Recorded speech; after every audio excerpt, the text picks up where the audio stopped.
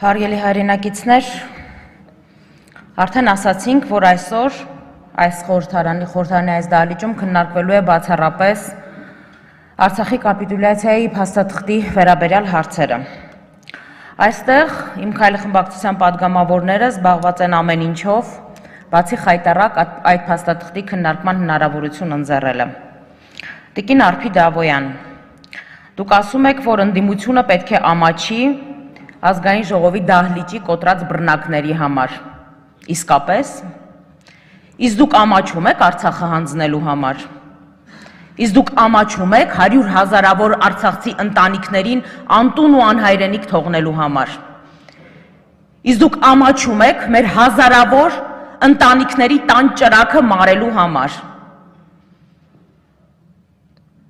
Ուզում եմ հասկանալ, Ես միշտ համարել եմ, որ իշխանությունում կան պրոֆեսիոնալ ու բանիմաց բազմաթիվ կադրեր, ովքեր վստահաբար հասկանում են, որ պարտված երկրի վարչապետը, Արցախը հանձնած վարչապետը չունի ոչ իրավական, ոչ բարոյական իրավունք այլևս լինել Արցախի ու Հայաստանի անվտանգության երաշխավորը։ Լավ դուք ո՞նց եք պատկերացնում, որ վարչապետը շարունակելու է Ալիևի հետ բանակցություններն ու քննարկումները, երբ Ալիևը ամենավերջին ձևով ստորացրեց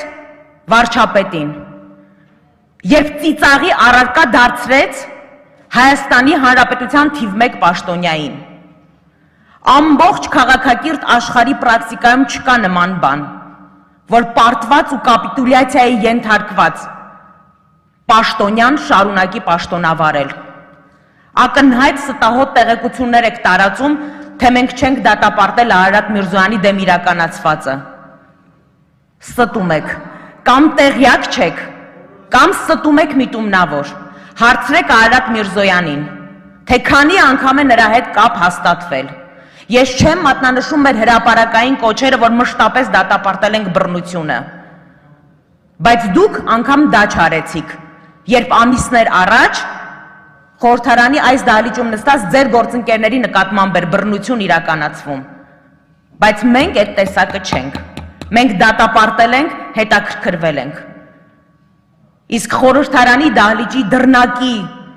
որպիսությունը ամենավերջին բանն է, որ ձեզ պետքա հետաքրքրեր, որովհետև դուք իշխանության եկաք ռադիոտունն ու ԵՊՀ-ն ջարդելով, բռնակներ ու դռներ վերացնելով։ Էնպես որ այդ առումով բարոյական դասեր մեզ չփորձեք տալ